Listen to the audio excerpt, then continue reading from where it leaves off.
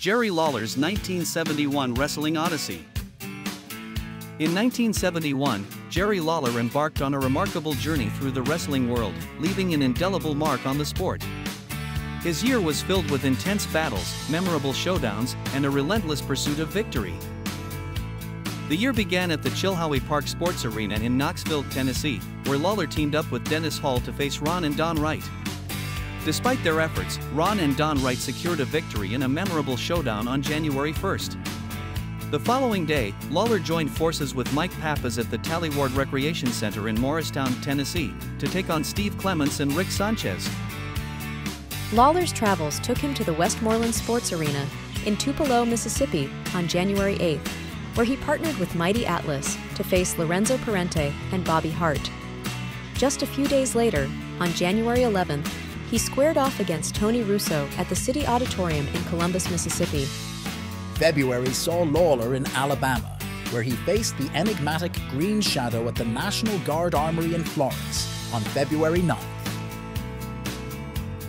Later that month, on February 27th, he battled Sir Clements at the Marshall County Coliseum in Albertville. March was a busy month for Lawler, starting with a match at the Western Kentucky State Fairgrounds Convention Center in Hopkinsville, Kentucky on March 18th, where he teamed up with Buddy Wayne Peel to face Bobby Hart and Lorenzo Parente. The next day, he faced Don Wright in a battle of wills at the Chilhowee Park Sports Arena in Knoxville, Tennessee, with Don Wright emerging victorious. Lawler continued his journey in Alabama, teaming up with Frankie Kane to face the Samoans at the Convention Hall in Gadsden on March 25th. In April, he faced a series of tough opponents, including Frank Monte and the Alaskan at the Municipal Auditorium in Birmingham on April 5th, and the Green Shadows at the Convention Hall in Gadsden on April 8th. One of the highlights of Lawler's year was his participation in the NWA Tennessee Tag Team Titles match at the Chilhowee Park Amphitheater in Knoxville, Tennessee on April 30th. Although he and his partner Omar Atlas were defeated by the Untouchables, Lawler's determination and tenacity shone through. As the summer of 71 heated up, Lawler continued to make waves in the wrestling world.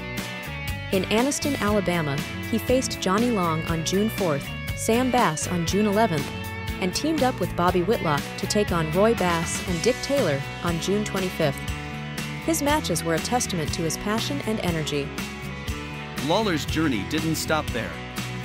He ventured to Jonesboro, Arkansas on June 26 and Selma, Alabama on July 31, where he continued to engage in thrilling matches. His dedication to the sport was unwavering, and his performances left a lasting impression on fans and fellow wrestlers alike.